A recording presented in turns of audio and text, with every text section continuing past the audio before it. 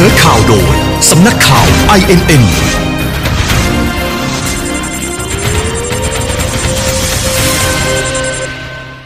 พรรคเพื่อไทยจัดกิจกรรมให้ประชาชนแสดงความคิดเห็น และพบปะอย่างใกล้ชิดภายในงานมีความคึกคัก มีประชาชนหลากหลายรุ่นเข้าร่วมกิจกรรม ติดตามรายละเอียดกับคุณอรดาชื่นรุ่งค่ะ พักเพื่อไทยจัดงานจับมือดาวสภาพักเพื่อไทยนำโดยคุณหญิงสุดารัตน์เกยุราพันธ์ประธานคณะกรรมการยุทธศาสตร์พักเพื่อไทย พร้อมโดยสสของพักที่มีผลงานโดดเด่นในสภาผู้แทนราษฎรนำโดยดาวสภารุ่นใหญ่นายแพทย์ชลนาสีแก้วสสน่านนายสุทินคลังแสงสสมหาสารคามนายจิรายุห่วงทรัพย์สสกรุงเทพมหานคร และนางสาวจิราพรสินทุไพสสร้อยเอ็ดข ที่คุณหญิงสุดารัตน์กล่าวว่า วันนี้เป็นการจัดกิจกรรมครั้งแรกของ พรรคเพื่อไทยเพื่อให้พี่น้องแสดงความคิดเห็นและพบปากกับสมาชิกพรรคของเรา โดยมีกิจกรรมหลายอย่างที่อยากจะเข้าถึงประชาชน เพราะหลายปีที่ผ่านมาปัญหาของประชาชนมีมากจนถึงปัจจุบัน แม้จะมีรัฐบาลแต่ก็ยังไม่ได้รับการแก้ไขปัญหาที่ถูกจุดพรรคเพื่อไทยแม้จะเป็นฝ่ายค้าน พร้อมจะทำหน้าที่แก้ปัญหาเหล่านั้นให้กับประชาชน เมื่อพรรคได้รับความไว้วางใจจากประชาชนมากที่สุด จึงจะต้องทำงานอย่างหนัก แม้จะเป็นฝ่ายค้าน ยืนยันจะไม่รอช้าแม้แต่วินาทีเดียวในการแก้ไขปัญหา จึงมีโครงการนวัตกรรมแก้จน โดยพักจะพยายามจัดกิจกรรมในลักษณะดังกล่าวทุกสัปดาห์ ซึ่งในสัปดาห์หน้าจะมีกิจกรรมเปิดใจเลขาธิการพักและโฆษกพักด้วย ขณะที่บรรยากาศภายในงานเป็นไปด้วยความคึกคัก มีบรรดาแฟนคลับของพักเพื่อไทยหลากหลายรุ่น เข้าร่วมกิจกรรมจับมือดาวสภาพักเพื่อไทยเป็นจำนวนมากอลดาชื่นลุงผู้สื่อข่าวไอเอ็นรายงานจากพักเพื่อไทยค่ะ ต่อกันที่ประเด็นอาชญากรรมค่ะตำรวจกองปราบปรามตามรวบหนุ่มข่มขืนหญิงอายุ 16 ปีนี้คดีนาน 12 ปี สุดท้ายจนมุมจับได้ที่จังหวัดสุรินทร์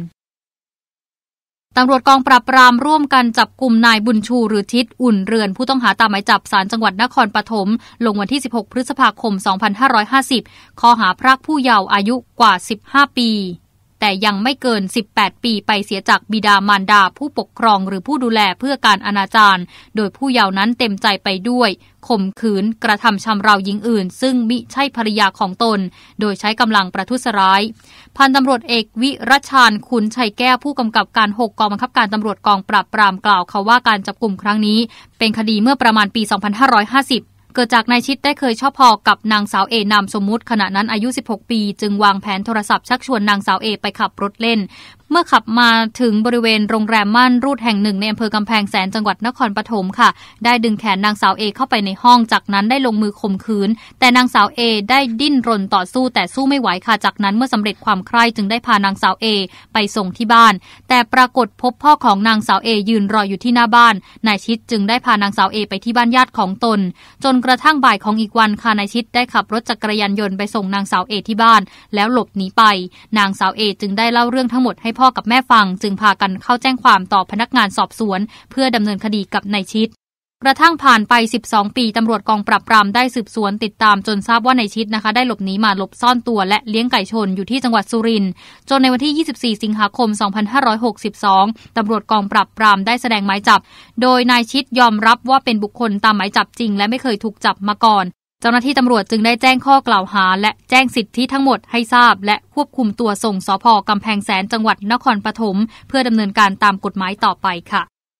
ลีโอนาร์โด ดิคาปริโอโพสต์ IG ภาพมาเรียมพะยูนน้อยขวัญใจชาวไทยตายเพราะขยะพลาสติก ลีโอนาร์โด ดิคาปริโอ นักแสดงฮอลลีวูดชื่อดังชาวอเมริกันได้โพสต์ภาพและข้อความผ่านทางอินสตาแกรมส่วนตัว ซึ่งมีผู้ติดตามกว่า 34 ล้านคน เกี่ยวกับกรณีการตายของมาเรียมพะยูนน้อยขวัญใจชาวไทยและทั่วโลก ที่จากไปอย่างน่าเศร้าเมื่อวันที่ 17 สิงหาคมที่ผ่านมาค่ะ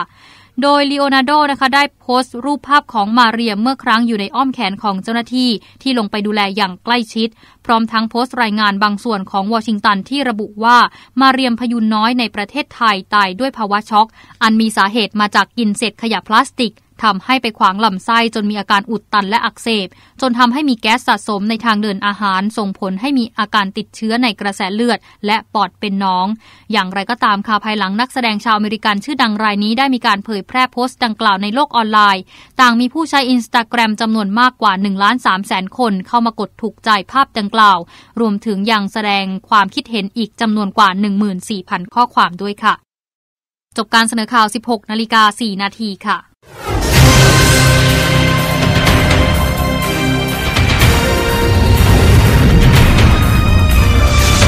นอข่าวโดย สำนักข่าว INN